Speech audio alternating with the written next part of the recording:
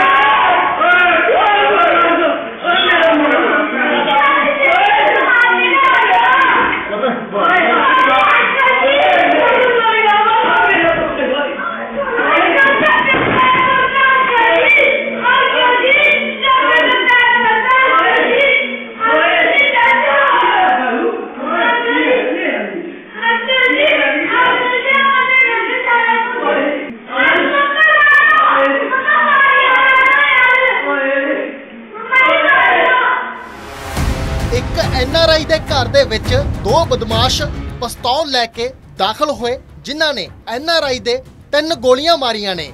ਘਰ ਦੇ ਵਿੱਚ ਮੌਜੂਦ ਬੱਚੇ ਹੱਥ ਜੋੜਦੇ ਰਹੇ, ਮਿਹਨਤਾਂ ਕਰਦੇ ਰਹੇ। ਫਿਰ ਵੀ ਇਹ ਬਦਮਾਸ਼ਾਂ ਦੇ ਵੱਲੋਂ ਉਸ ਤੇ ਗੋਲੀਆਂ ਚਲਾ ਦਿੱਤੀਆਂ। ਸੀਸੀਟੀਵੀ ਤਸਵੀਰਾਂ ਦੇ ਵਿੱਚ ਬਿਲਕੁਲ ਸਾਫ਼ ਹੋ ਰਿਹਾ ਕਿਸ ਤਰੀਕੇ ਦੇ ਨਾਲ ਪਿਸਤੌਲ ਦੇ ਜ਼ੋਰ ਤੇ ਇਹਨਾਂ ਦੇ ਵੱਲੋਂ ਇਸ ਐਨਆਰਆਈ ਦੇ ਗੋਲੀਆਂ ਮਾਰੀਆਂ ਗਈਆਂ ਨੇ ਔਰ ਉਸ ਤੋਂ ਬਾਅਦ ਇਹ ਇੱਥੋਂ ਫਰਾਰ ਹੋਏ ਨੇ। ਅੰਮ੍ਰਿਤਸਰ ਦੇ ਦਬੁਰਜੀ ਦੀ ਇਹ ਪੂਰੀ ਵੀਡੀਓ ਹੈ। ਸਵੇਰੇ ਸਵੇਰੇ ਘਰ ਦੇ ਵਿੱਚ ਐਨ ਆਰ ਆਈ ਉਸਦੇ ਬੱਚੇ, ਉਹਨਾਂ ਦੀ ਮਾਤਾ ਮੌਜੂਦ ਨੇ।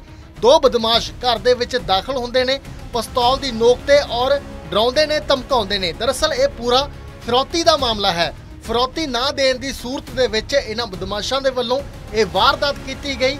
ਘਰ ਦੇ ਵਿੱਚ ਦਾਖਲ ਹੋ ਕੇ ਐਨ ਆਰ ਆਈ ਦੇ ਤਿੰਨ ਗੋਲੀਆਂ ਮਾਰੀਆਂ ਗਈਆਂ ਨੇ, ਜਿਸ ਤੋਂ ਬਾਅਦ ਉਸ ਨੂੰ ਹਸਪੀਟਲ ਦੇ ਵਿੱਚ ਭਰਤੀ ਕਰਵਾਇਆ ਗਿਆ। ਬੱਚੇ ਘਰ ਦੇ ਵਿੱਚ ਮੌਜੂਦ ਨੇ, ਹੱਥ ਜੋੜਦੇ ਰਹੇ ਮਿੰਤਾ ਤਰਲੇ ਕਰਦੇ ਰਹੇ, ਪਰ ਇਹ ਬਦਮਾਸ਼ ਨਹੀਂ ਟਲੇ ਇਹਨਾਂ ਦੇ ਵੱਲੋਂ, ਤਾੜ-ਤਾੜ ਗੋਲੀਆਂ ਚਲਾਈਆਂ ਗਈਆਂ ਨੇ। ਫਿਲਹਾਲ ਪੁਲਿਸ ਦੇ ਵੱਲੋਂ ਸੀਸੀਟੀਵੀ ਤਸਵੀਰਾਂ ਨੂੰ ਆਧਾਰ ਬਣਾ ਕੇ ਇਹਨਾਂ ਬਦਮਾਸ਼ਾਂ ਦੀ ਭਾਲ ਕੀਤੀ ਜਾ ਰਹੀ ਹੈ। ਅੰਮ੍ਰਿਤਸਰ ਦੇ ਦੁਬੁਰਜੀ ਦੀ ਇਹ ਵੀਡੀਓ ਹੈ।